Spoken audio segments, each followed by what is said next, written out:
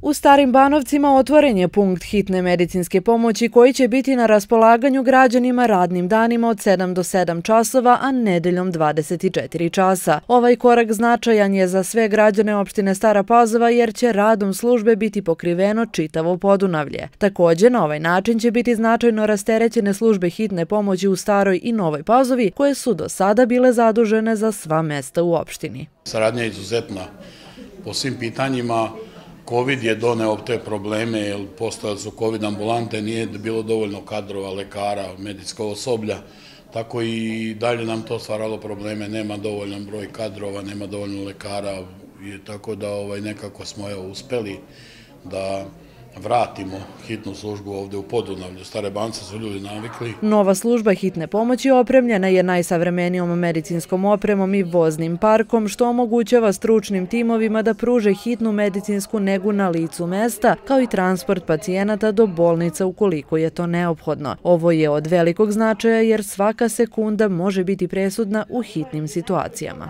Ono što je veoma važno bilo u ovom periodu je da smo radili na kadrovima.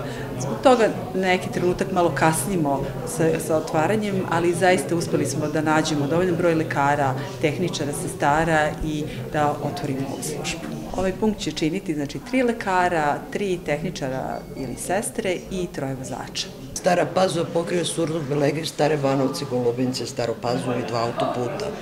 I to je veliko područje po kvadraturi i sad ovaj deo što je otvoren znači mnogo baš mnogo. Jeste da će ovaj punkt da radi od 7 uveče do 7 ujutro, s tim da vikendom radi i nedelju 24.